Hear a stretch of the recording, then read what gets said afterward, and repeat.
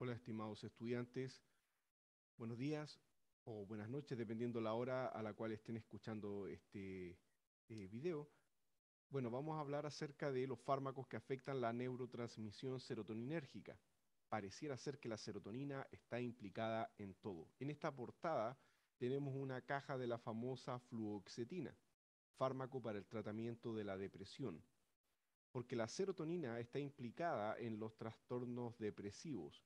Pareciera ser que la serotonina está implicada en todo según algunos autores, por cuanto no solamente se encuentra en el sistema nervioso central, llámese en el cerebro, sino que también en órganos periféricos como por ejemplo el vaso, como por ejemplo el intestino, donde regula o bien participa directamente en una serie de procesos fisiológicos.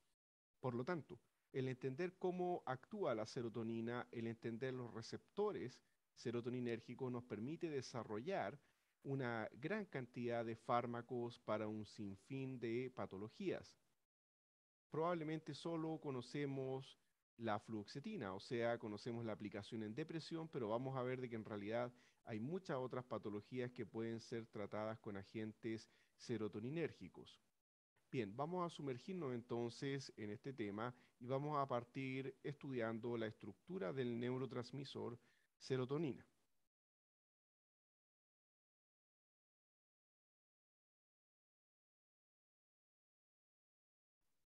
Ahí está la imagen de la serotonina. Como podemos ver, corresponde a una estructura del tipo 5-hidroxitriptamina.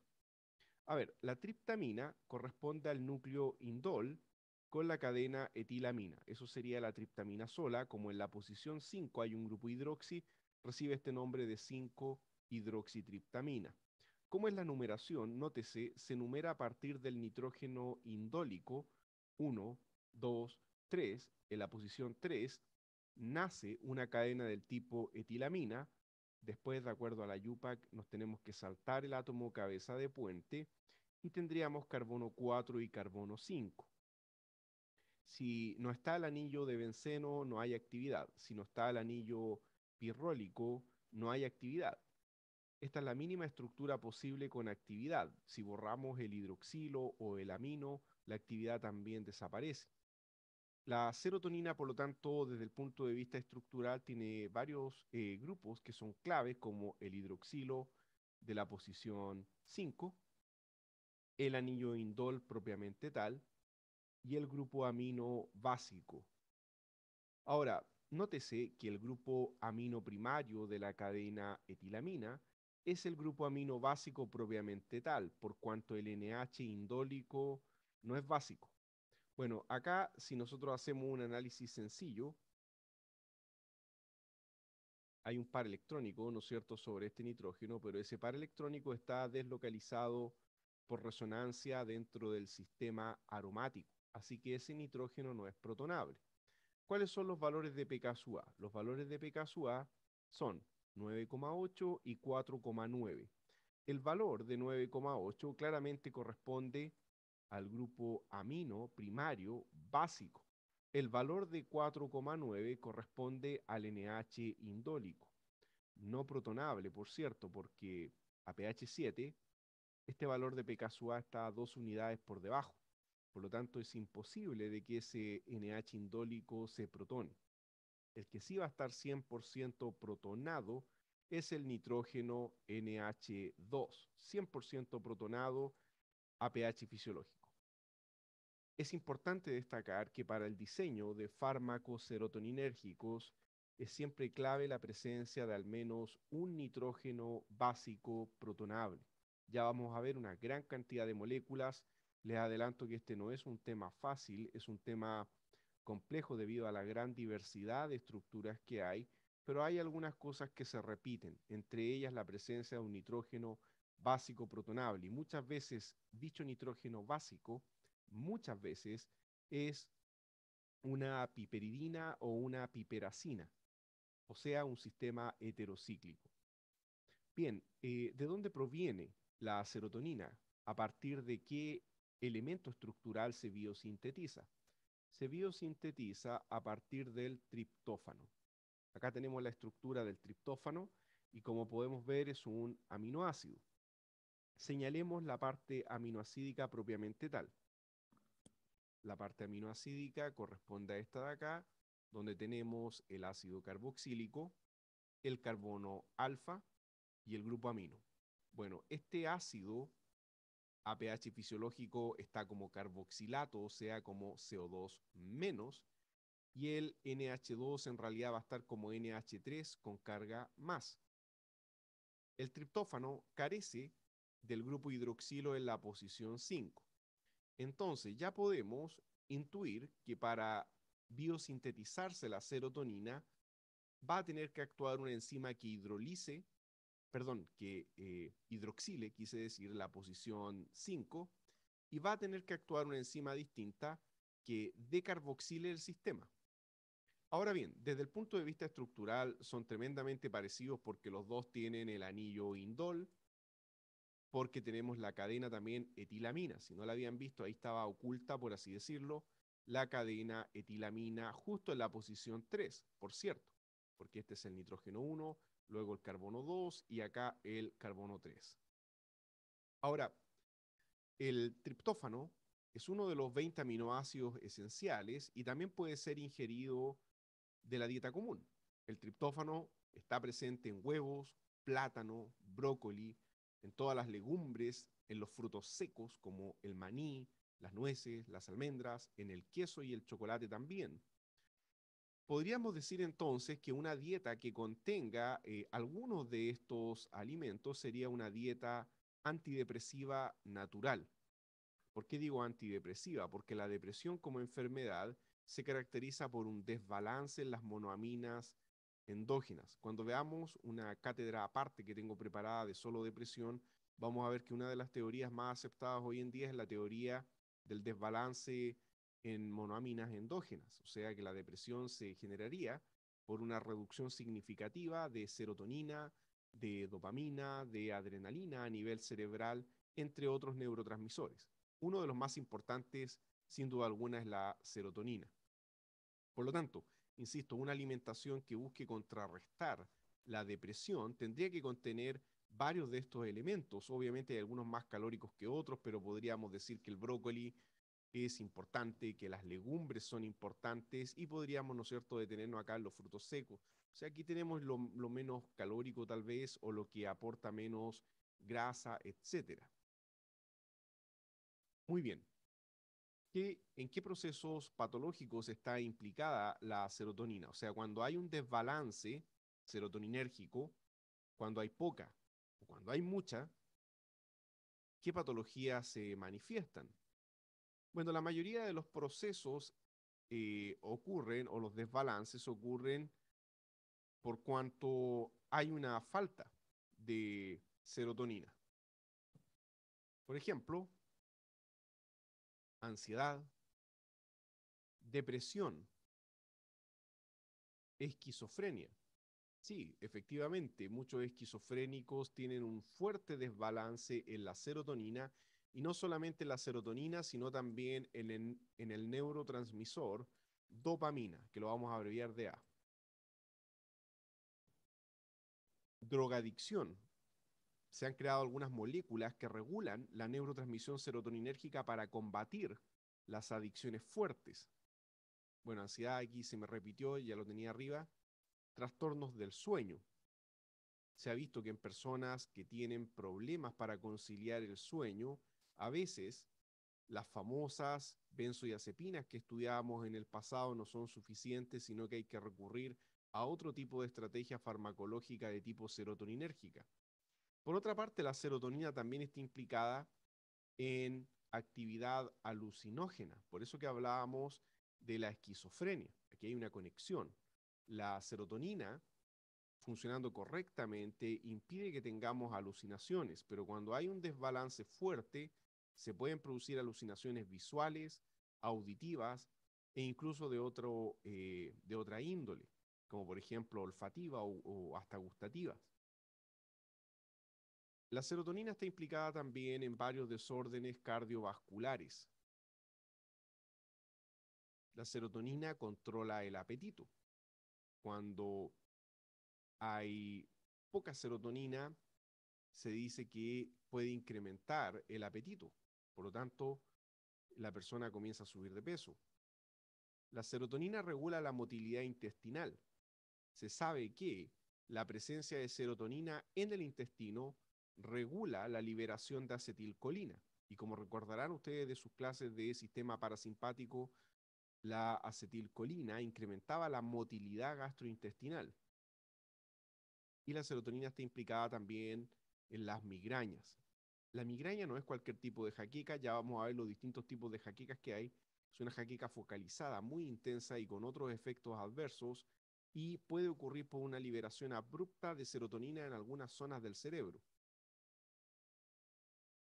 Hay algunas patentes modernas, curiosamente, donde podemos ver que se están desarrollando fármacos que regulan la neurotransmisión serotoninérgica para tratar un sinfín de cosas bastante eh, exóticas. Incluso, por ejemplo, hay patentes de moléculas serotoninérgicas para tratar los desórdenes de agresión e ira.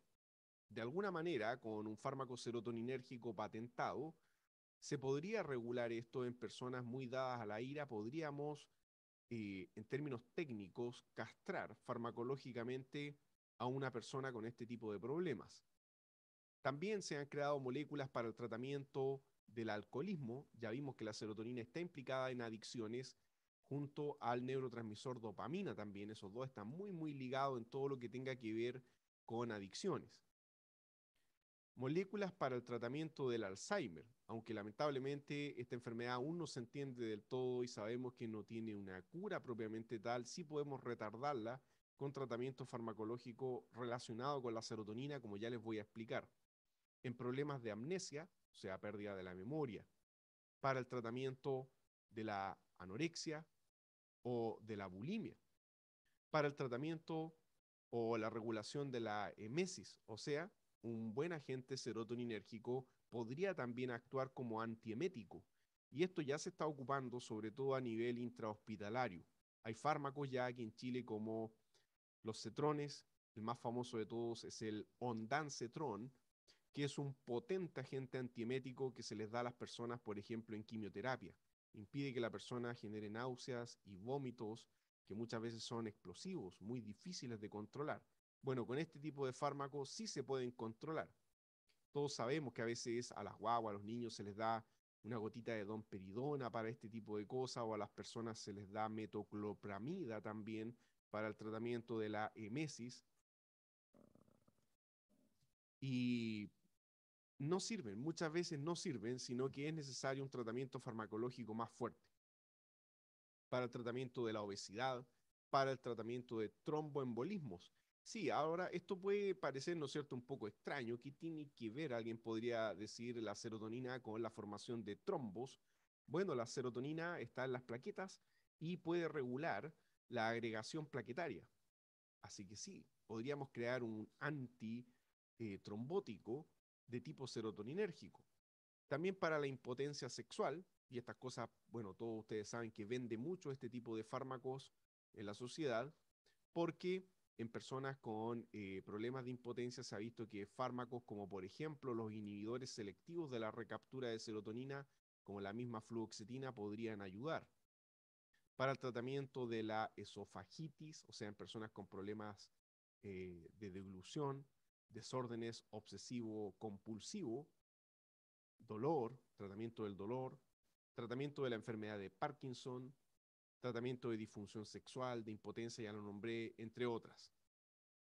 Ahora, todas estas patentes modernas ya son en cosas bastante diversas, distintas, y uno podría preguntarse, ¿cómo un solo neurotransmisor puede modular tantos procesos distintos a la vez? ¿Okay? Es un neurotransmisor especial, con mucha variabilidad conformacional. Bueno, ¿dónde está la respuesta ya?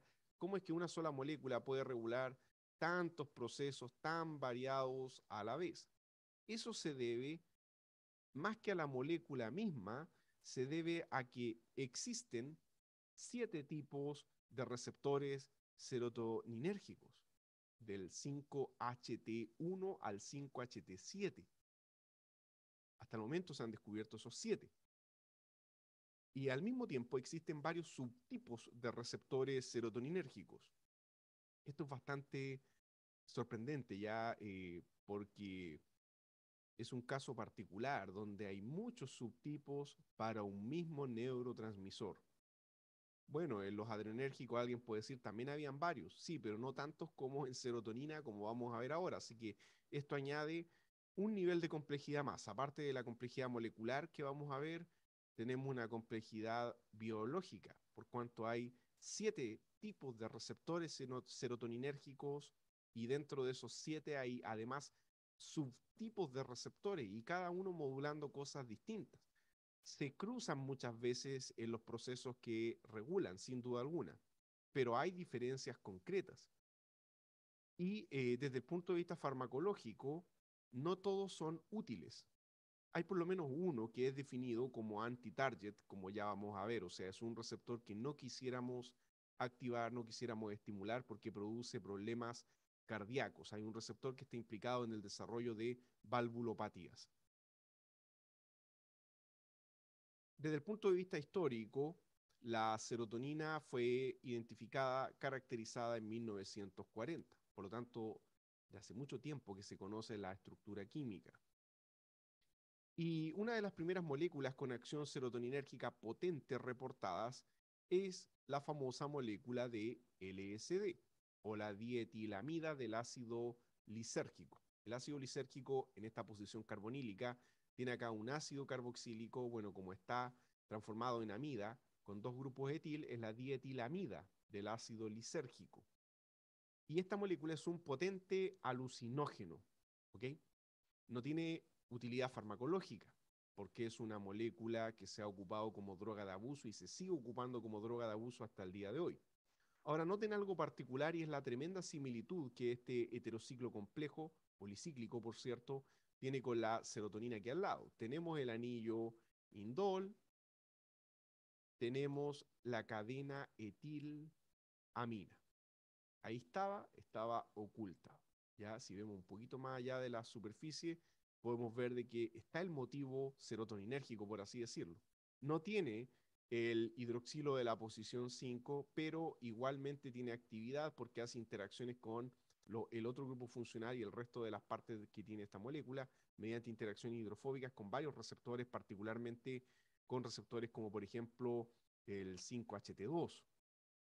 El LSD fue de hecho el primer radioligando para conocer un sitio de unión cerebral de serotonina, o sea, fue ocupado como una sonda farmacológica. ¿Por qué? Porque se puede tritear, uno puede cambiar, por ejemplo, el NH, el protón, por un tritio, y de esa manera generamos una molécula radiactiva que puede ser ocupada como sonda farmacológica para el estudio de los receptores serotoninérgicos dentro del cuerpo humano. Ahora, insisto, esa molécula no tiene actividad terapéutica por cuanto es un potente alucinógeno. Aquí abajo les presento otra estructura que no tiene nada que ver con el LSD, llamada espiperona. La espiperona, por otra parte, es un antagonista serotoninérgico.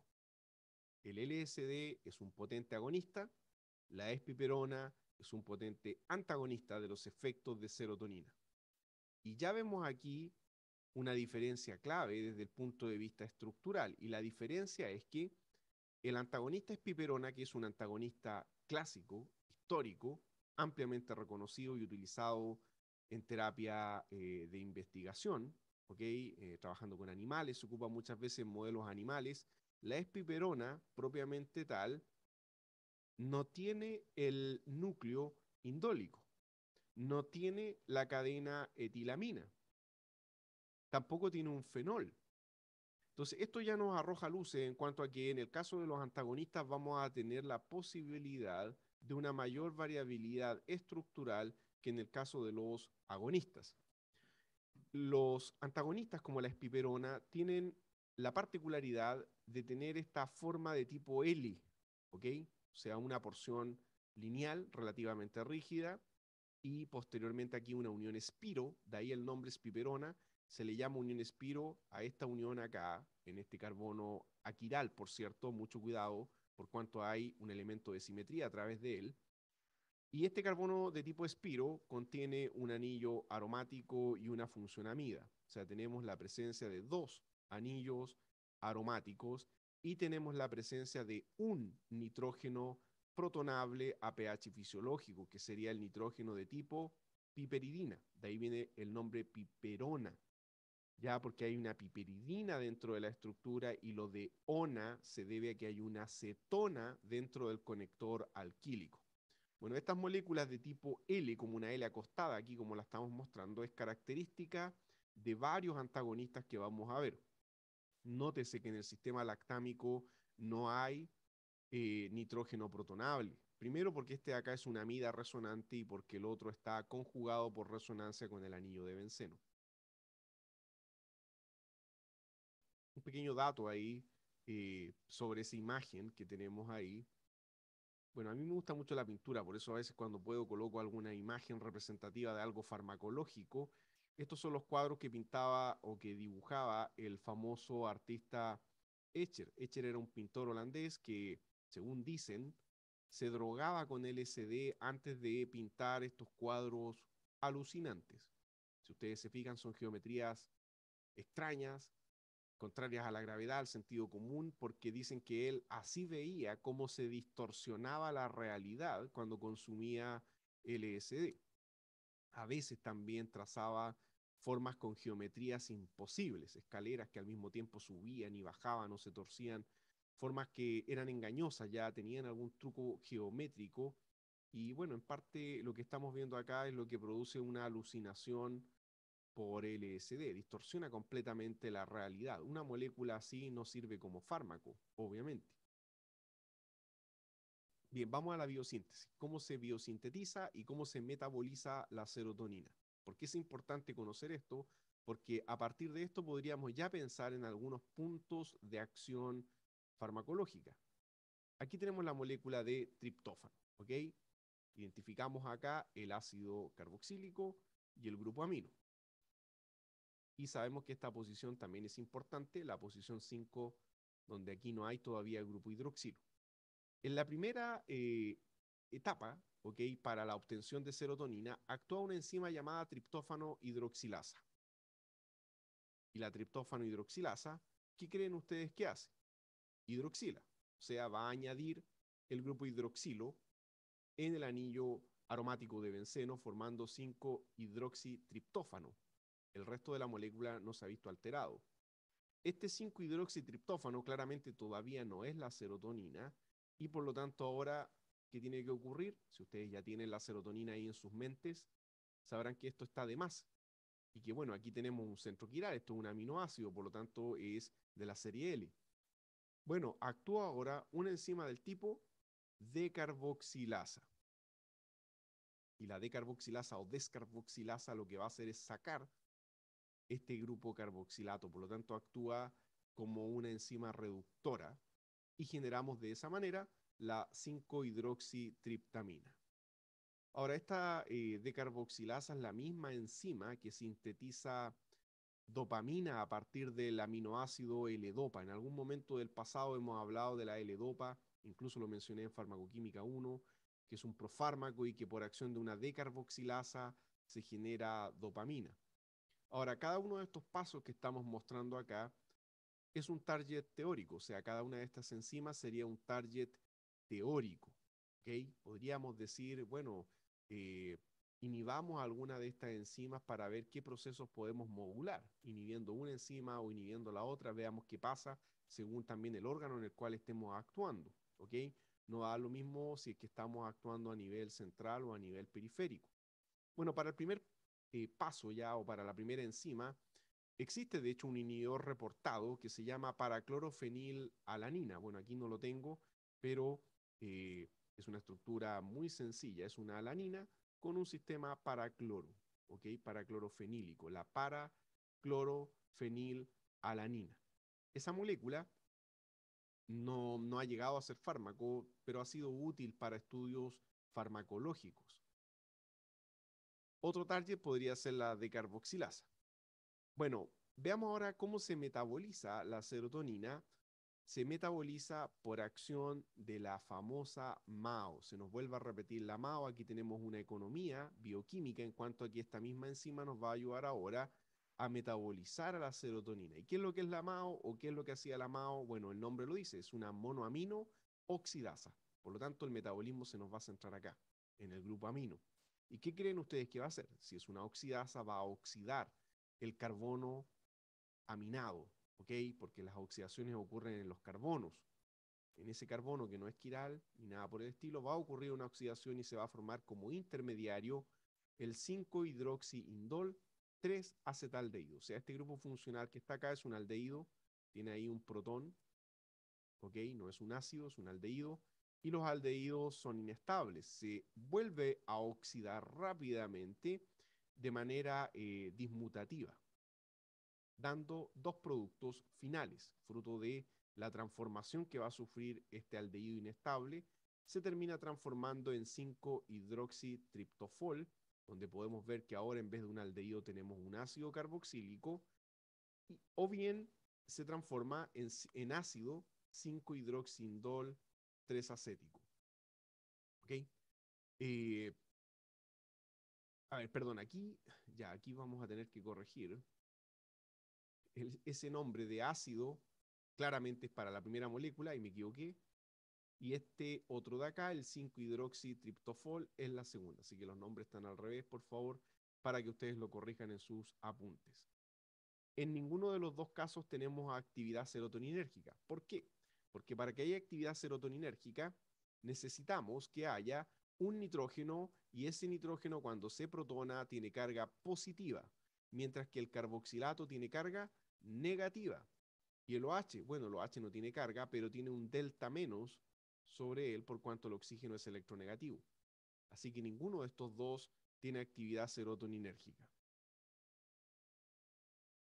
Ya podríamos pensar entonces en qué estrategia se puede emplear para conseguir serotomiméticos. Bueno, una estrategia podría ser inhibir directamente la MAO porque es la enzima que degrada la serotonina. Podríamos proponer inhibidores de la MAO como agentes, por ejemplo, antidepresivos, porque en la depresión bajan las concentraciones circulantes de serotonina a nivel cerebral.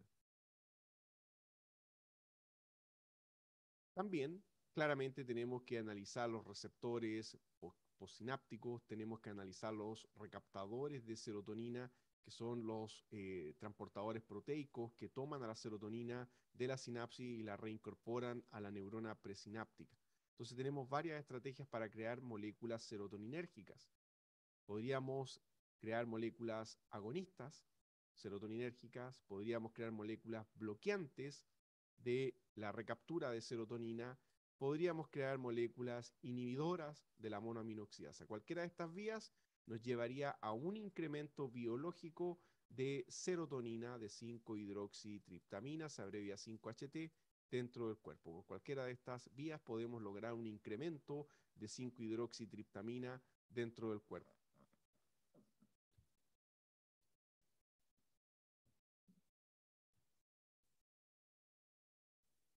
Muy bien, veamos entonces algunos inhibidores enzimáticos.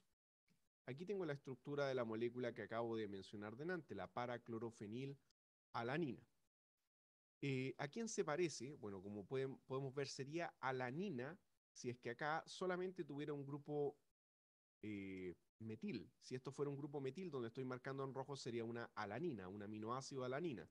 Ahí está el carbono alfa.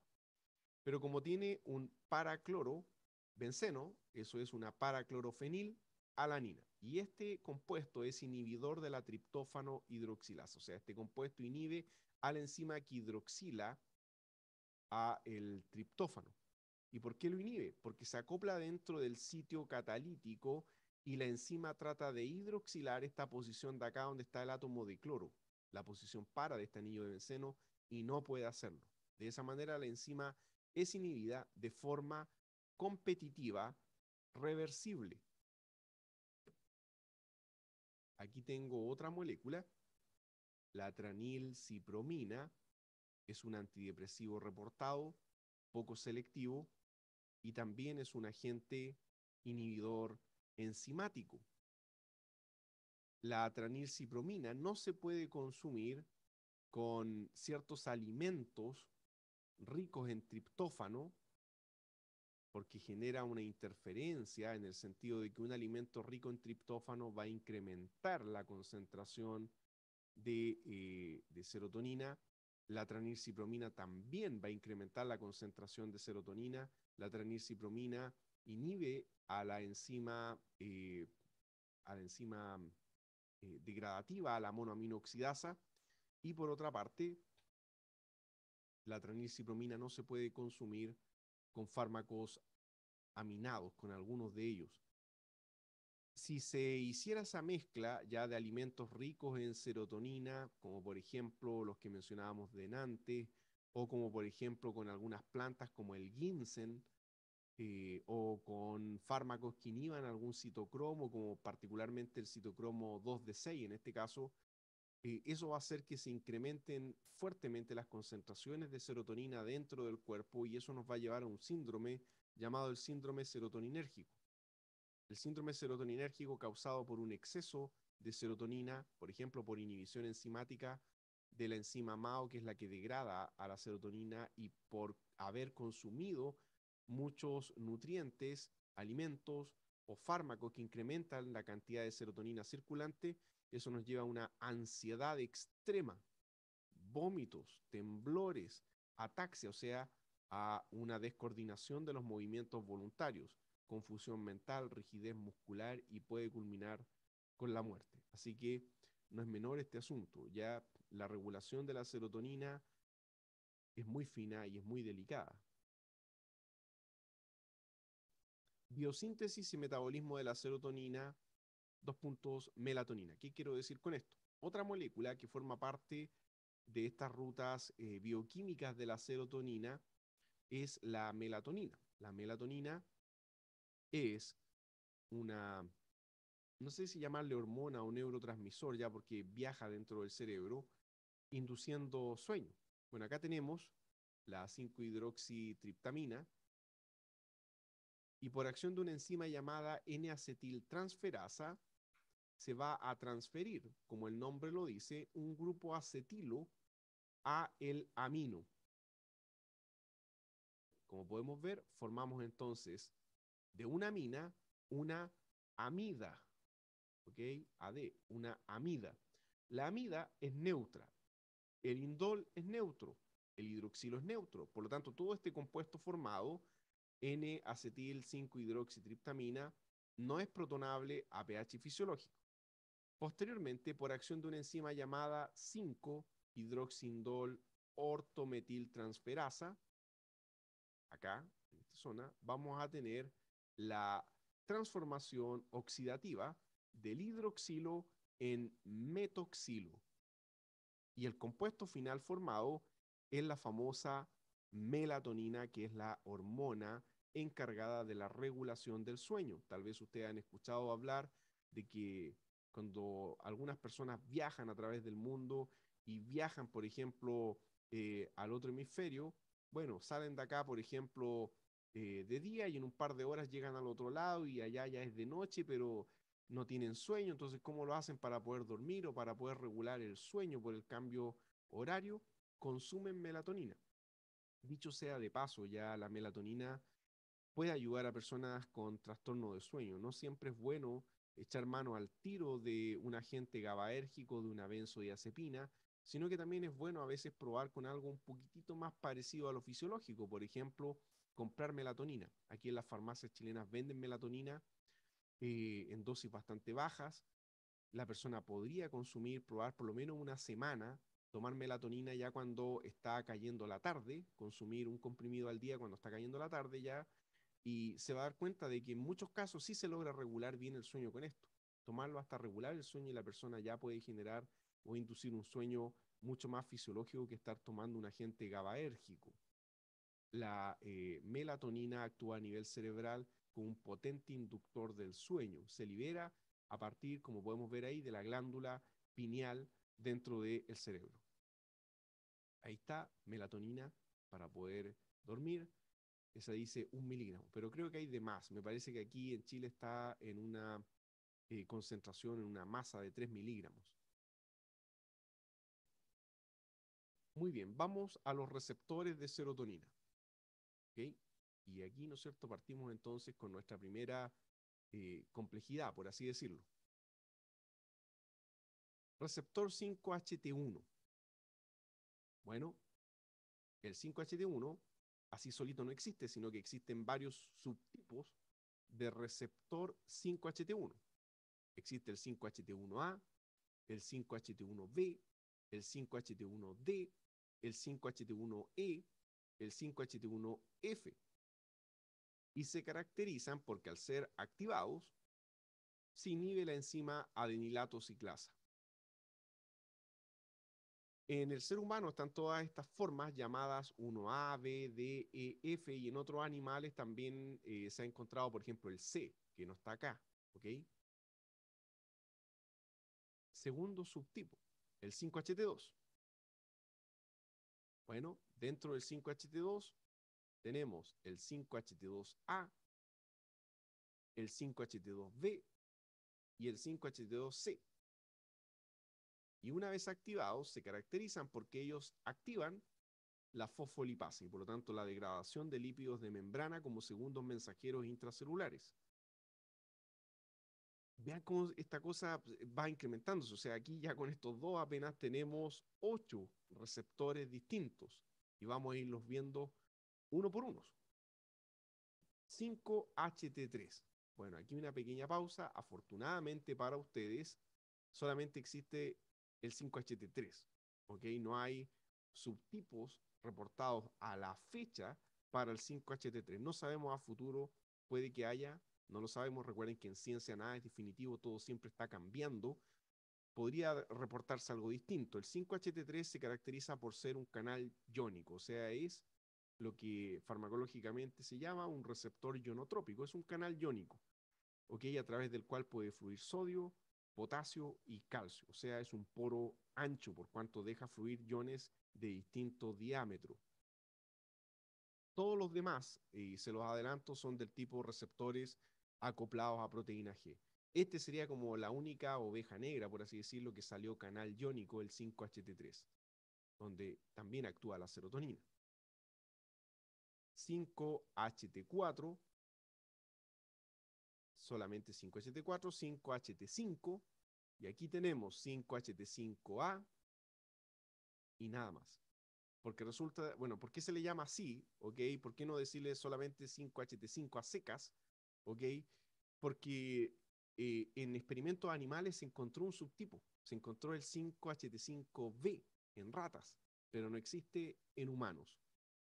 Eh, no está muy claro todavía cuál es el segundo mensajero eh, a nivel de 5HT5. 5HT6 y 5HT7. ¿Ok? Y en todos estos 5HT4, 5HT5, 6 y 7, tenemos que la activación de estos receptores por serotonina lleva a la activación de la adenilato ciclasa y por lo tanto al incremento de AMP cíclico intracelular como segundo mensajero dentro de la célula. Bueno, ahora nos vamos a ir deteniendo en eh, cada uno de ellos ya para ir viendo qué provecho le podemos sacar desde el punto de vista farmacológico. Primero vamos a ver una visión general de los receptores y de ahí vamos a irnos sumergiendo de manera más específica. Creo que este método es el único que resulta en esta materia por cuanto permite primero tener un sobrevuelo y después irse introduciendo de manera particular en cada uno de ellos más en detalle. ¿ok?, hay bastante información cruzada en todo caso, porque entenderán que como son receptores eh, todos afines para serotonina, van a haber efectos similares cruzados en varios de ellos. Bueno, partamos por el 5HT1A a grandes rasgos primero. ¿Qué podemos decir? En todos los vasos sanguíneos del el cuerpo y del sistema nervioso central. Vean qué particular. Es un receptor capilar, por así decirlo, en vasos sanguíneos y en el sistema nervioso central. Bueno, preguntémonos, ¿qué funciones regula el 5HT1A? Ansiedad, adicción, sueño, apetito y memoria. ¿Okay? aquí la única forma de ir eh, aprendiendo esto es ir memorizándolo. Lamentablemente ya no hay otra manera. El 5HT1A está implicado en ansiedad, en adicción, en sueño, en apetito y en memoria. ¿Cuáles son los agonistas reportados para el receptor 5HT1A? muchísimo. En realidad, para cada uno de estos receptores hay muchas moléculas. Lo que yo voy a ir mostrando acá es lo más representativo en cada caso. No podría colocar la lista completa de todos los fármacos o moléculas experimentales que a la fecha se han ido descubriendo. Si ustedes se meten a, por ejemplo, ScienFinder y escriben ahí, se van a dar cuenta que año tras año se descubren moléculas nuevas para cada uno de estos receptores. Bueno, dentro de los agonistas más importantes tenemos buspirona, clozapina, cannabidiol, ergotamina, yoimbina. Ahora, aquí llama la atención de acá que todas estas moléculas son distintas estructuralmente, ¿ok? Buspirona, bueno, por ejemplo, la clozapina, que está acá, que la destacaría yo dentro de este grupo, es un agente antipsicótico, o sea, para el tratamiento de la esquizofrenia. Lo destaco porque también lo vamos a mencionar más adelante. El cannabidiol, por otra parte, es un compuesto de origen natural proveniente de la planta cannabis. Y el cannabidiol, químicamente hablando, es un terpeno, mientras que la clozapina es una molécula de síntesis, o sea, un núcleo farmacofórico totalmente distinto. La ergotamina es extraída de, eh, del, hongo, ¿no es cierto?, del, del cornezuelo del centeno y es usada para combatir las jaquecas. Y es un alcaloide natural, al igual que la yoimbina, que también es un alcaloide natural que, eh, bueno, en antaño se ocupaba para problemas de disfunción sexual, hoy está bastante en desuso. ¿Qué hay de los antagonistas? Bueno, respecto a los antagonistas, curiosamente se ha encontrado que los beta bloqueadores, algunos de ellos, beta bloqueadores, o sea, fármacos de afinidad adrenérgica, pueden actuar como antagonistas del receptor 5-HT1A, entre ellos pindolol, propranolol, oxprenolol y alprenolol. Esto es bien particular porque se ha estudiado farmacológicamente para qué podría servir esto. Un antagonista adrenérgico que también sea antagonista serotoninérgico. Bueno, en el caso particular de pindolol, hay reportes que muestran que la coadministración de pindolol con fluoxetina, que es un agente inhibidor de la recaptura de serotonina, o se inhibe el eh, transportador de serotonina presináptico para el tratamiento de la depresión, coadministrar pindolol con ese agente antidepresivo reduce el tiempo de respuesta. O sea, la persona tiene un efecto antidepresivo antes de lo esperado. Ya vamos a ver que uno de los problemas de los agentes depresivos es que se demoran en generar un efecto visible. Los agentes antidepresivos no es algo que tú te lo tomas ahora y ya mañana andas con cara de risa. Por lo menos dos semanas a un mes es el efecto ya terapéutico. Bueno, al coadministrar pindolol se ha visto que podemos reducir ese tiempo de latencia y que la persona ya en menos días comienza a experimentar ya el efecto antidepresivo propiamente tal. Así que vean, se puede sacar provecho de algunas de estas cosas. Y para mostrar alguna molécula de todas estas que están acá, ahí selecciono buspirona y vean ustedes que la buspirona, químicamente hablando, es una aril piperacina. ¿Ok? Tenemos que hay un núcleo piperacínico que se va a protonar en este nitrógeno, no en el otro, conectado a una pirimidina, una aril, grupo aromático, piperacina. Por lo tanto, no necesariamente para ser un agonista vamos a tener que tener algo parecido a la 5-hidroxitriptamina. Receptor 5-HT1B. Está en vasos sanguíneos también y en el sistema nervioso central. Por eso les digo, aquí hay varias cosas que se van a ir repitiendo, hay cruzamientos, pero también hay diferencias. ¿Qué funciones regula? Adicciones, muy importante. Comportamiento agresivo. Por eso hablábamos de que eh, hay patentes ya de algunas moléculas para el tratamiento de la agresividad extrema. ¿Podríamos nosotros castrar farmacológicamente a una persona con este tipo de problemas? Regula el comportamiento sexual. Se ha visto que, por ejemplo, en pacientes esquizofrénicos hay eh, problemas de este tipo de regulaciones serotoninérgicas que llevan a un comportamiento sexual inapropiado. podríamos regularlo a través de este receptor. Y también regula la memoria y el aprendizaje. Así como también el sistema GABAérgico estaba implicado en memoria de aprendizaje, el receptor 5-HT1B también. Dentro de los agonistas, destaco los triptanes. No son los únicos, pero se destacan los triptanes. Se llaman así porque el nombre, de acuerdo a la DCI, terminan en triptán, como el sumatriptán, solmitriptán, L-triptán, etc. Y también la famosa ergotamina. La ergotamina es el componente clásico de estos fármacos tipo eh, migranol ya, o cualquiera de las otras marcas que hay ya reportada a la fecha, que no es otra cosa que ergotamina con cafeína para tratar las migrañas, los fuertes dolores de cabeza. Bueno, pero destaco los triptanes porque los triptanes son una nueva familia de compuestos químicos que tienen menos efectos adversos que la ergotamina. Los triptanes tienen eh, la particularidad de que son muy rápidos para calmar las migrañas y tienen menos riesgo de producir microisquemias cerebrales que la ergotamina. La ergotamina, de hecho, es tóxica. En altas dosis puede ser muy tóxica y puede producir mucho daño neurológico. Estos otros son más inocuos. Y dentro de los antagonistas, de nuevo tenemos a los beta bloqueadores como el pindolol y otros derivados. Y curiosamente, vean esto, la yoimbina, que es un alcaloide natural, eh, que de antes en el 5-HT1A actuaba como agonista, acá actúa como antagonista. Así que una misma molécula puede tener un efecto distinto en otro subtipo serotoninérgico. Aún no hay mucho desarrollo farmacológico inextenso en este receptor, ni tampoco se conoce en profundidad. Así que probablemente en el futuro vamos a encontrar información novedosa sobre fármacos que actúen en este subtipo.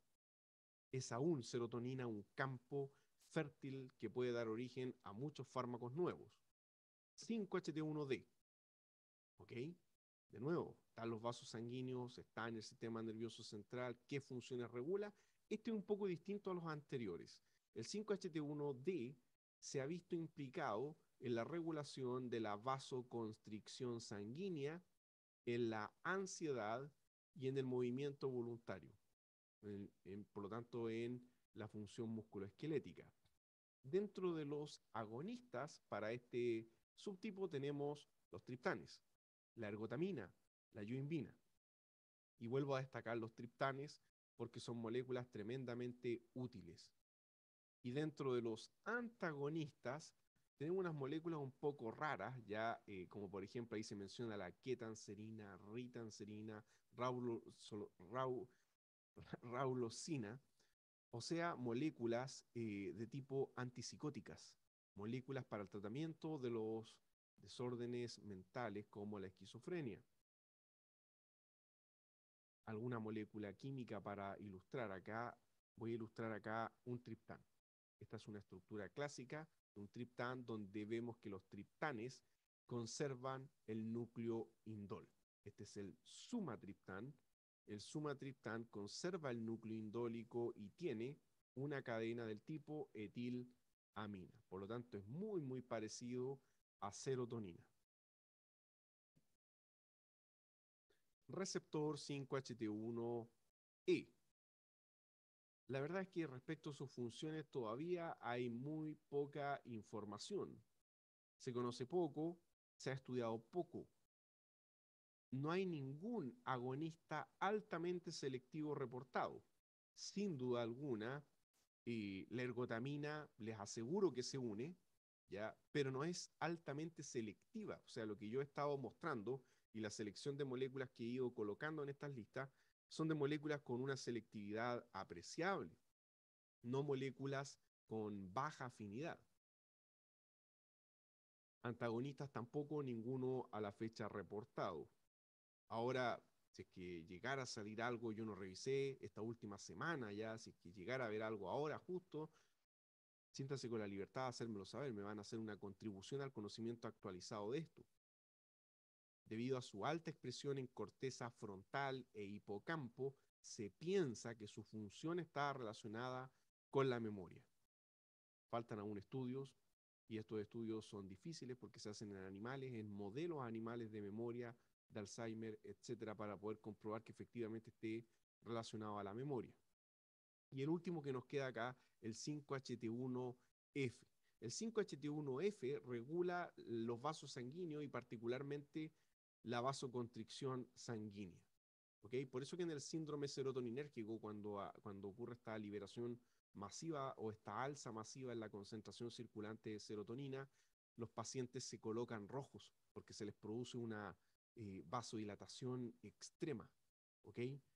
Entonces tenemos que los agonistas reportados a la fecha son, por ejemplo, el 5N butililoxi-DMT, ya lo vamos a mostrar más adelante, una molécula llamada lasmiditan, y dentro de los antagonistas tenemos una molécula experimental con este código que se muestra a continuación. Eh, quisiera destacar este agonista, el lasmiditan, cuya estructura estoy mostrando aquí abajo, está en fase de investigación para el tratamiento de la migraña aguda. Sería una molécula más que se incorporaría al arsenal del tratamiento de la migraña. No tiene nada que ver con los triptanes. Químicamente no es un indol con una cadena del tipo etilamina. Químicamente es una trifluorobensamida. Así se clasifica esto. Bueno, si se fijan, en la parte acá de la izquierda tengo tres átomos de flúor, una amida conectada al benceno, por eso se le llama una trifluoro bensamida. Y tiene más cosas, después tiene todo este grupo de acá que es un sustituyente R de alto volumen a la derecha de la trifluorobensamida con un nitrógeno protonable de tipo piperidínico en el extremo. Nótese que el carbono aquí conectado no es quiral, así que cuidado. ¿ok? Y la eh, piridina que está entre medio como conector tampoco es protonable. O sea, este es un compuesto que solamente tiene un nitrógeno protonable acá a la derecha. Pasamos al segundo tipo, los receptores 5HT2, ¿ok? 5HT2A particularmente. Se ha encontrado en vasos sanguíneos, en el sistema nervioso central, obviamente, en plaquetas, nótese en plaquetas, músculo liso, tracto gastrointestinal. Por eso algunos le llaman al intestino el segundo cerebro, porque hay una gran cantidad de serotonina a nivel intestinal. Y este receptor está implicado en la patogénesis de la depresión al haber una sobreexpresión. Vean qué curioso, una sobreexpresión de este receptor lleva a que la persona eh, desarrolle depresión. Ahora ustedes dirán, bueno, ¿y cómo comprueban eso? Bueno, se ha reportado que en personas que se han suicidado o en personas con una alta tendencia a la depresión y que luego se han suicidado, se ha visto en estudios farmacológicos que muchas de estas personas tienen una elevada densidad de este receptor a nivel cerebral. O sea, no es bueno tener una sobreexpresión de este receptor 5HT2A a nivel cerebral. Por otra parte, fue este receptor 5HT2A el target primario de las drogas psicodélicas como el famoso LSD. Ya dijimos que el LSD no tiene utilidad terapéutica, ha sido usado y sigue siendo usado como una droga de abuso psicodélica. Distorsiona fuertemente la realidad, es muy peligrosa.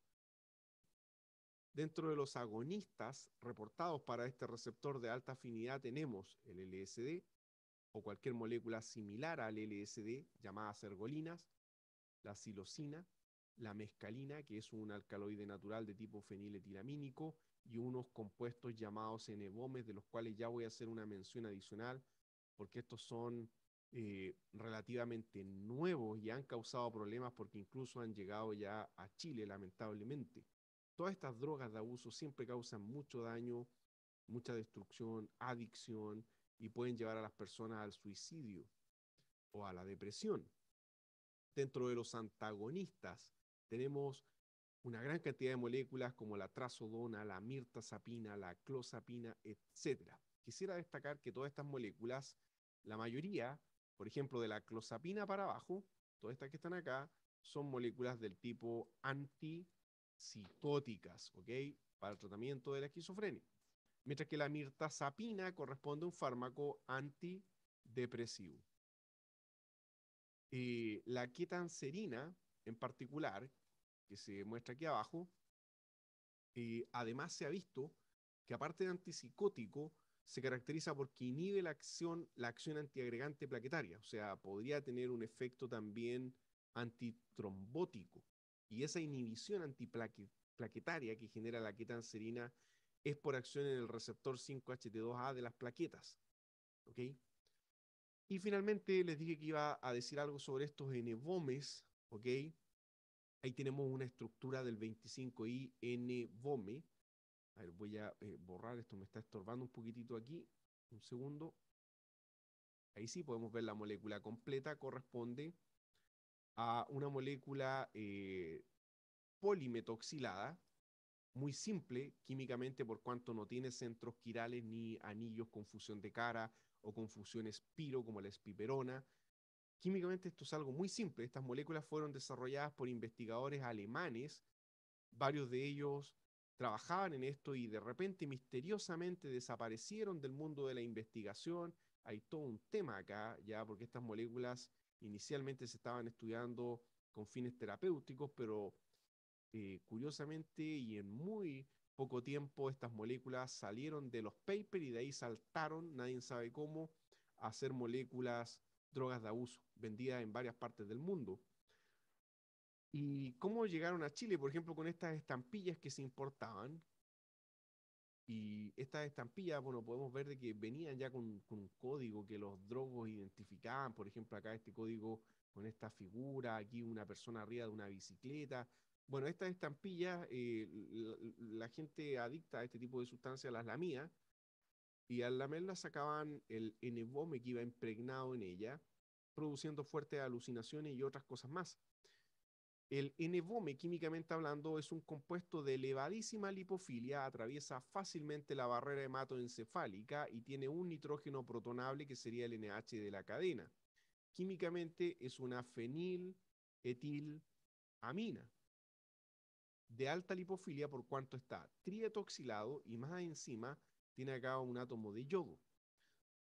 Son una familia de compuestos, hay otros y son todos muy parecidos, difieren en la cantidad de metoxilos, en la cantidad de halógeno y en la posición de los mismos, pero el núcleo general es básicamente este. Lamentablemente, como les digo, saltaron de la investigación a transformarse en drogas de abuso. Pudieron haber sido eh, moléculas que ayudaran, por ejemplo, a personas con depresión, dado que estamos viendo que las personas que tienen mucho receptor 5HT2A son propensas a la depresión. Por lo tanto, a partir de este núcleo se podría haber intentado llegar a un antagonista específico, ¿ok? Pero no se hizo. Bueno, las personas que eh, consumen este tipo de sustancias terminan teniendo fuertes alucinaciones, como los esquizofrénicos. Aquí tengo una imagen representativa de algunos cuadros pintados por personas esquizofrénicas. Francamente hablando, son cuadros artísticos muy interesantes.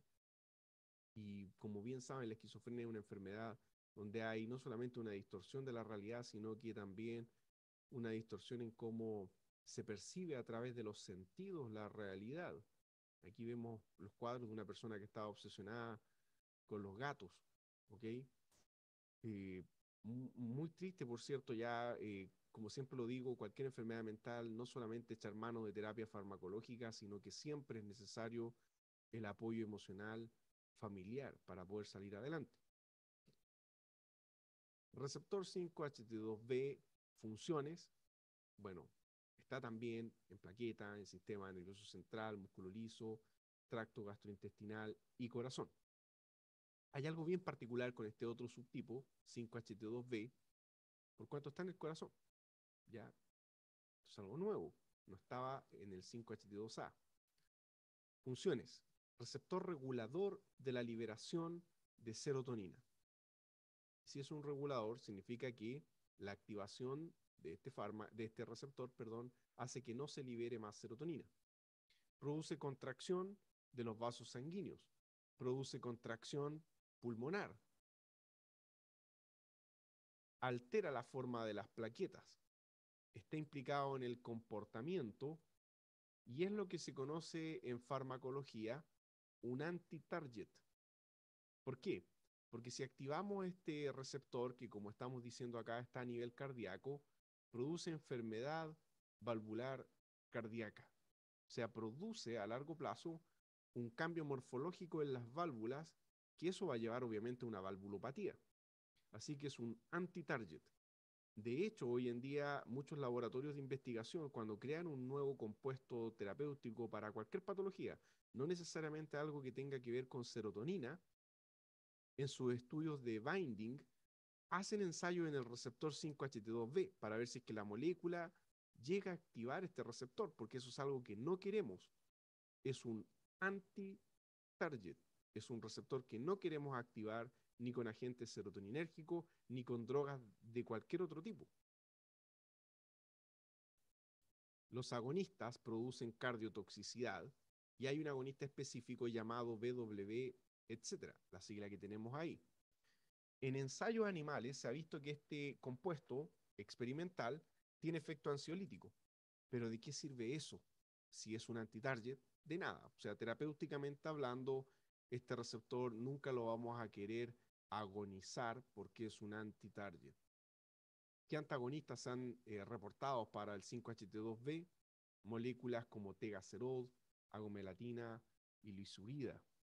Destaco acá el tegacerol,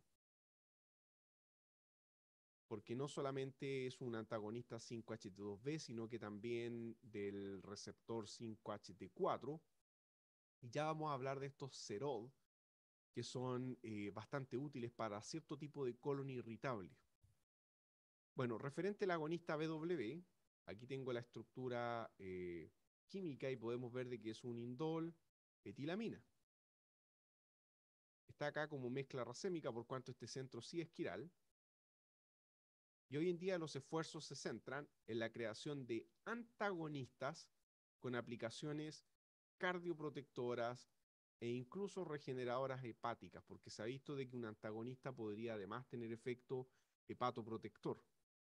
Entonces, por ningún motivo vamos a querer desarrollar un agonista 5-HT2B, este es un anti-target, pero sí se están buscando moléculas antagonistas que pueden proteger al corazón de alguna molécula que vaya ahí y trate de agonizar este receptor. Y el 5-HT2C, bueno, fundamentalmente eh, a nivel del plexo coroidio, o sea, a nivel de aquella región cerebral encargada de la producción del líquido cefalorraquídeo en el cerebro. Eh, se ha visto también, lamentablemente, de que personas con tendencia suicida eh, tienen una alta densidad de este receptor en el cerebro, particularmente en la, en la corteza prefrontal. Y por otra parte, también se ha visto en algunos experimentos biológicos que ciertas infecciones virales, aunque parezca raro o inverosímil, ciertas infecciones virales podrían incrementar los niveles de este receptor en el cerebro. O sea, podríamos decir de que hay ciertos virus que están implicados en la patogénesis de la depresión. Aún falta mucho por conocer, aún falta mucho por entender en este sentido, pero es algo que está ahí, que se está estudiando, de lo cual todavía se sabe poco, porque hoy en día, si ustedes le preguntan a cualquier eh, profesional de la salud, lo primero que les va a decir, depresión, ah, serotonina, falta serotonina. O en el mejor de los casos, alguien les va a decir desbalance monoaminérgico. Ok, sí, pero también se está viendo de que hay algunos virus, curiosamente, de que están implicados en generar una sobreexpresión del receptor 5-HT2C a nivel cerebral y por lo tanto eso lleva a la depresión. Y esto farmacológicamente también se ha visto corroborado porque hay moléculas que son híbridas, por así decirlo, como la fluoxetina, que es antidepresivo y también es antiviral. A la fluoxetina se le ha encontrado efecto antiviral. Por lo tanto, se ha reportado una patente de segundo uso en el caso de la fluoxetina como antiviral. Muy interesante, sobre todo teniendo en cuenta todo lo que ha pasado en este último tiempo con este virus que anda dando vuelta el hecho de que haya nuevas moléculas antivirales, ya sea moléculas viejas que se le descubre un efecto o moléculas nuevas, es muy bueno por cuanto añade una alternativa farmacológica para el tratamiento de una infección viral. Bueno, dentro de sus funciones, eh, su activación inhibe la liberación de dopamina y noradrenalina. Entonces acá tendríamos la explicación farmacológica de por qué una sobreexpresión llevaría a depresión, porque tendríamos menos dopamina, menos noradrenalina circulante a nivel cerebral. Está implicado en el desarrollo de ansiedad, regula los estados de ánimo y de apetito, también el comportamiento sexual, reproductivo, y también este receptor regula la liberación de prolactina, de hormonas CTH, de vasopresina y de oxitocina. O sea, es bastante amplio en sus funciones reguladoras. Se han reportado estos tres agonistas altamente selectivos, la lorcacerina, la ergonovina y el oxaflosano, perdón. Y destacaría yo la lorcacerina por cuanto es una molécula muy simple, relativamente nueva y que se está estudiando bastante para el tratamiento de la depresión. Y dentro de los antagonistas se ha descubierto que la fluoxetina es antagonista 5-HT2C, que varios antipsicóticos atípicos son antagonistas, ya vamos a hablar qué es eso de, atípico, y el tramadol. El tramadol eh, es un eh, compuesto, y esto lo mencionamos en la farmacoquímica 1, así que no creo que se acuerden, el tramadol es un fármaco de tipo opiáceo, ¿okay? es un agonista muy opiáceo, pero que también actúa acá como antagonista 5-HT2C. Bueno, y es porque todos estos sistemas están todos interconectados. Finalmente no hay aquí un sistema que opere como un llanero solitario, sino que todos los sistemas están interconectados entre sí. Estos son problemas multidimensionales. Quisiera representar acá la lorcacerina. Ahí tenemos la molécula. Es una benzoazepina por cuanto tiene un anillo de benceno conectado a un anillo de 7 con un nitrógeno básico, este se protona pH fisiológico, ¿ok? SNH+. Y el año 2012 fue aprobado, o sea, hace nueve años atrás, para el tratamiento de la obesidad porque produce eh, sensación de saciedad en los pacientes, disminuyendo así esa ansia por comer y comer sin parar. Lorcacerina, químicamente hablando, es bastante sencilla, la complejidad única que tiene eh, es en este centro quiral, que tiene que ser, como lo estamos viendo acá, de configuración absoluta R. Ese centro quiral es de configuración absoluta R. Muy bien, pasamos a la siguiente.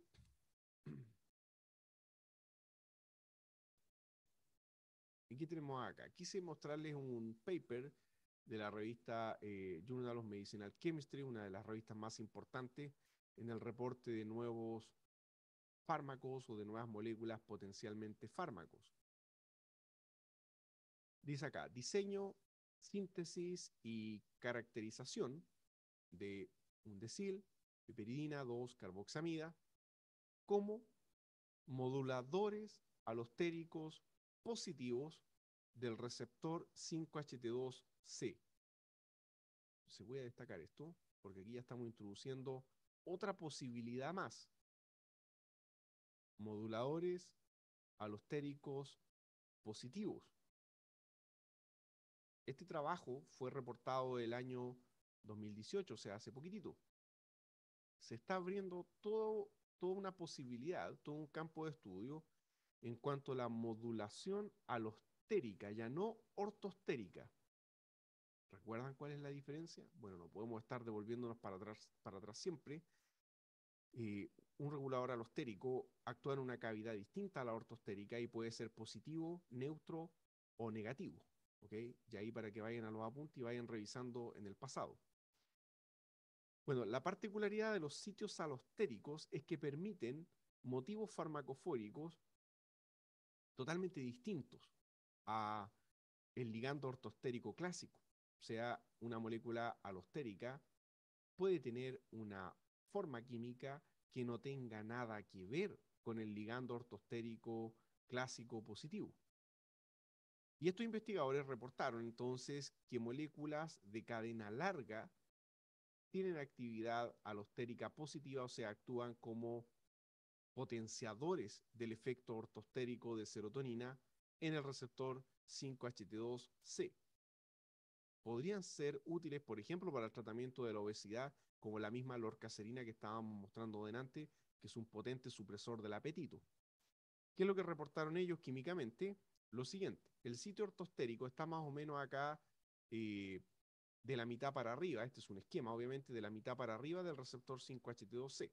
Ahí es donde se une la serotonina. Bueno, pero acá a la salida, por así decirlo, hay otra cavidad que es una cavidad alostérica, distinta a donde se une serotonina. Y moléculas de este tipo, o sea, moléculas del tipo, como podemos ver, carboxamida, o sea, una amida conectada como grupo funcional, por eso se llama carboxamida, alquil, porque aquí hay una cadena larga, piperidina. El anillo que está acá en el centro es una piperidina, básica, por cierto, este se protona. Una alquil, piperidina, carboxamida. Con una cabeza polar en el otro extremo, aquí podemos tener un grupo polar, mientras que al otro lado una cadena apolar. O sea, químicamente esto se parece mucho a un detergente. Bueno, este tipo de estructuras se unen acá y cuando se unen, por sí mismos no tienen efecto, pero ellos potencian la acción de la serotonina, aumentan, como dice acá, la eficacia de la serotonina. Y esto entonces está abriendo todo un campo de investigación. Hoy en día se estudian mucho los ligandos alostéricos. Bueno, recuerden que, por ejemplo, las mismas benzodiazepinas eran alostéricas. ¿Por qué se estudian mucho los ligandos alostéricos hoy en día? Porque podríamos diseñar fármacos más finos que producen un incremento del efecto normal del ligando endógeno, más que producir ellos mismos un efecto directo reemplazando al ligando endógeno, sino que es una modulación más fina, es una modulación más ¿cómo decirlo? Es como una modulación más eh, amable, por así decirlo, porque ellos incrementan el efecto del ligando endógeno, no lo reemplazan ni compiten con él.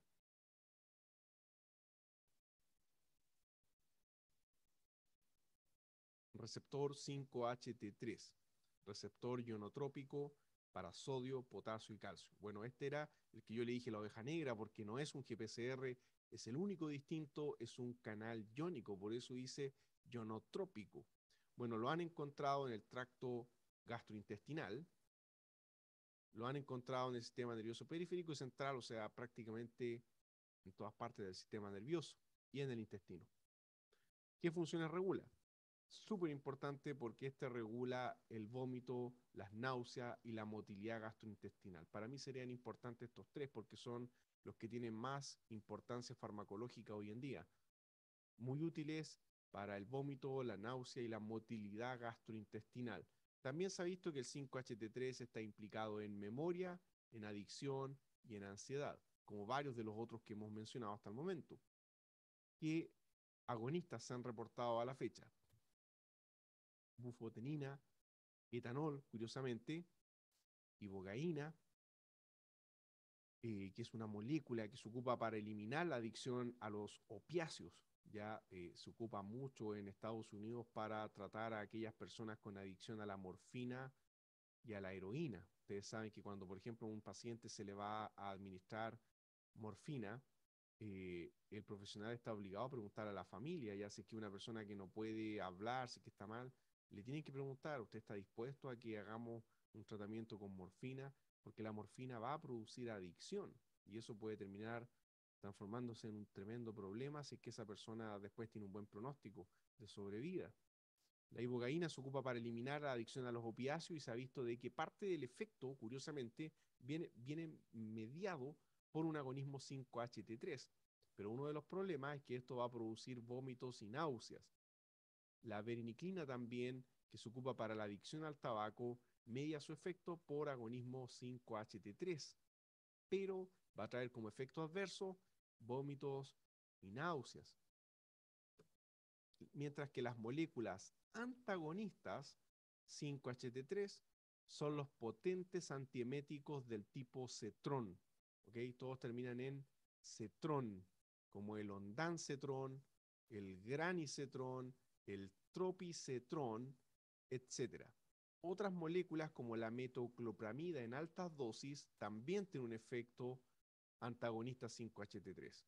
Así que una gotita de metoclopramida no sirve de nada, pero en alta dosis sí puede tener efecto antimético.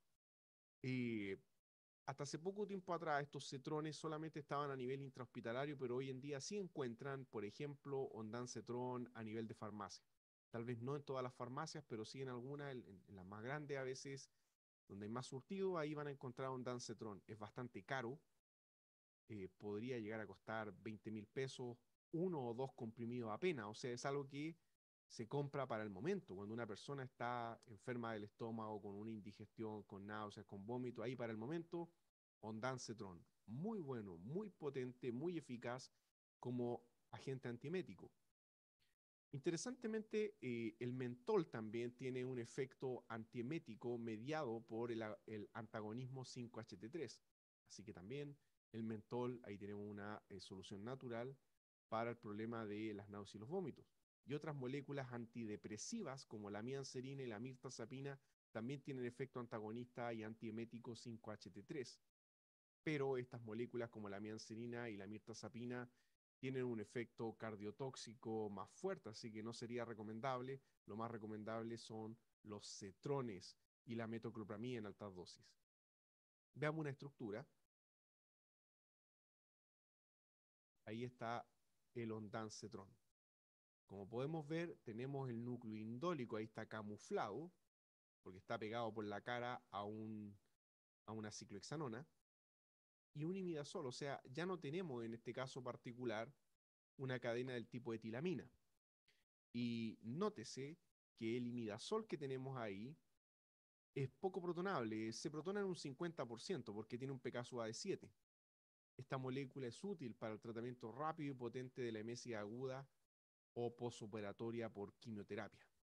Sabemos que a los pacientes con quimioterapia se les producen muchas náuseas y vómitos, lamentablemente. El ondansetron es una buena alternativa. El único problema es el precio, si es que tuviesen que comprarlo. ¿Qué más podemos decir del ondansetron? Es un compuesto de elevada lipofilia. Y desde el punto de vista eh, del PKSUA, eh, creo que ya lo dije, va a estar protonado en un 50% en el anillo imidazólico. Eh, ¿Qué más podemos decir? Bueno, el resto de las otras moléculas, la verdad es que no, no merece alguna mención adicional. Bueno, esta que está acá está media rara, esta bufe, buf, perdón, bufotenina, este agonista, que no tiene utilidad terapéutica, no es un fármaco, sino que es un alcaloide tóxico que se ha encontrado en secreciones de algunos sapos y químicamente corresponde a una, eh, a una 5-hidroxitriptamina eh, que está dimetilada en el nitrógeno eh, NH2, o sea, en vez de ser un NH2 es un N-metil-metil y se ha encontrado en las secreciones de algunos sapos tóxicos. Muy bien, para ya ir terminando con eh, esta primera clase asincrónica relacionada con serotonina, receptor 5HT4. El 5HT4 regula la motilidad gastrointestinal. Ah, bueno, ¿dónde se ha encontrado? También en el tracto gastrointestinal, como los cetrones también, pero se ha visto que también está en vejiga y, ojo, muy importante, en el corazón. Siempre que algo está en el corazón hay que poner ojo porque hay que estudiar, investigar si es que el agonismo o el antagonismo de ese receptor en el corazón puede o no ser tóxico. Siempre que un receptor esté en el corazón, hay que estudiarlo para saber si es que hay o no cardiotoxicidad. Bueno, eh, destacaría yo de acá, de, todos estos, eh, de todas estas funciones que regula, motilidad gastrointestinal, apetito, respiración, ansiedad, memoria, estados de ánimo, el primero, la regulación de la motilidad gastrointestinal. ¿De qué manera? Bueno, este receptor está altamente expresado en el intestino y de manera indirecta incrementa la liberación de acetilcolina. O sea, el agonismo va a hacer que se incremente la motilidad gastrointestinal. ¿Y qué agonistas tenemos? El tegacerod, la metoclopramida, la sulpirida, la cisaprida, la sacoprida. Bueno, eh, estas moléculas son agonistas y destaca el tegacerol y sus congéneres como una molécula moderna para el tratamiento del colon irritable, pero del colon irritable que cursa con estreñimiento, bastante común en pacientes femeninas. personas que no pueden obrar, que les cuesta mucho, que se hinchan mucho y que no les avanza la digestión, por así decirlo, el Tegacerod es una buena alternativa. Eh, mucho cuidado ya tener entrenado al personal en farmacia porque este fármaco eh, eh, estaba en farmacia, no sé, hubo un problema hace poco tiempo atrás con él, creo que detectaron algunos efectos adversos precisamente cardíacos. yo no estoy trabajando en farmacia en este momento, así que no me consta que todavía esté en farmacia, ya, pero si estuviera él o cualquier otro derivado, ojo ya que este tipo de fármacos podría tener eh, efectos adversos a nivel cardíaco, podría llegar a producir arritmias. Así que habría que averiguar bien si que todavía aquí en Chile se permite su venta eh, directa ya OTC en farmacia o si es que requiere presentación de receta. Por otra parte, ya está el tener cuidado en cómo a veces los vendedores eh, promueven este tipo de, de, fármacos, porque esto sí es para el colon irritable, pero no para cualquier colon irritable. Por ejemplo, eh, por el contrario, los varones muchas veces el colon irritable cursa con un intestino muy acelerado, o sea, va mucho al baño, obra poco, pero siente la urgencia de ir con mucha frecuencia. Bueno, ahí por ningún motivo sería recomendable el tegacerod, porque el tegacerod incrementa la motilidad gastrointestinal. Entonces, ¿cómo le vamos a dar a una persona que obra mucho eh, un fármaco que le incrementa más aún la motilidad gastrointestinal? Otra molécula acá eh, bastante conocida, ya la metoclopramida y también la cisaprida. A la cisaprida se le hizo mucha publicidad en el pasado porque la mostraban como una píldora mágica que ayudaba, por ejemplo, eh, para los típicos asados o carretes. La vendían como una molécula que ayudaba a todos esos malestares gástricos, a botar los gases y acelerar la digestión. ¿okay? Típico que alguien va a una fiesta y come mucho asado, mucha carne, después se siente mal, con distensión abdominal, con una digestión enlentecida. Bueno, ustedes saben que el exceso de consumo de carne enlentece la digestión, es muy lenta de digerir, avanza muy lento, se siente el estómago pesado por muchas horas. Entonces, para ayudar a, eh, que avance, por así decirlo, la cisaprida era una muy buena eh, alternativa. Pero también se ha reportado para la cisaprida problemas a nivel cardíaco. Se han reportado algunos problemas de eh, arritmia, así que cuidado también con eso. Dentro de los antagonistas, tenemos el pivocerol y la L-lisina. Curiosamente, el aminoácido, la lisina es el aminoácido, es un antagonista 5-HT4. Hay varios aminoácidos que en el cuerpo actúan como neurotransmisores. Y bueno, ese pivocerol que lo subrayé ahí, eh, se ha ocupado para el tratamiento de colon irritable como antagonista, ¿ok? Y también se ha ocupado para eh, problemas cardíacos, particularmente para una patología llamada la fibrilación atrial, fibrilación atrial, que corresponde a una anormalidad, a una irregularidad en los latidos, eh, particularmente de las, de, las aurículas cardíacas. ¿ya? Eh, veamos algunas estructuras de las que están acá. Hemos hablado harto del tegacerol, por eso lo tengo acá. Ahí está la estructura química y de nuevo nos topamos con un indol, muy clásico en los agonistas serotoninérgicos, y una cadena, pero que ya no es una etilamina. Vean que ahora es, ¿cómo le podríamos llamar a esto? Una iminoguanidina. ¿Ok? Ahí está, un iminoguanidina. En el 2007 la FDA solicitó su retiro del mercado Novartis, pero como aquí en Chile todo siempre es más lento, les aseguro que capaz que todavía se está vendiendo. Hay muchos fármacos, por ejemplo, la dipirona, ya no me consta que todavía se vende igual que antes, pero la dipirona, mucho tiempo que había sido prohibida en Europa y aquí en Chile, se seguía vendiendo. Y la dipirona es bastante tóxica, tiene varios efectos adversos, incluso algunos a nivel sanguíneo de glóbulos blancos. Lamentablemente, así es la regulación en Chile. Muchas veces cosas que en el extranjero eh, se están prohibiendo, se están estudiando con cautela porque se ha visto que producen efectos adversos. Si basta que en unas pocas personas se descubra algún efecto adverso grave para que se disparen las alarmas. No tenemos por qué esperar que más personas mueran, se enfermen, sino que rápidamente parar las antenas y decir, bueno, aquí detengámonos un segundo, estudiemos esto, veamos qué pasa. El era para el tratamiento moderno, como dice acá, del colon irritable que cursa con constipación, no con un colon irritable acelerado, sino para constipación. Y bueno, esto ya se lo mencioné, la FDA solicitó su retiro del mercado en el año 2007.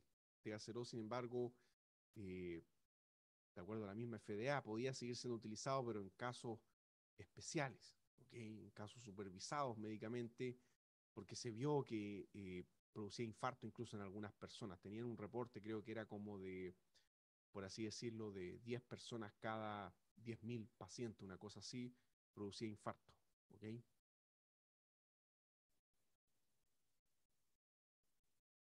Bien, esta sería eh, la última diapositiva. Vamos a cerrar este módulo con el 5HT4. Voy a crear después otra clase para ver el resto de los receptores y ya irnos sumergiendo más en detalle en también la parte netamente química y de relación estructura-actividad.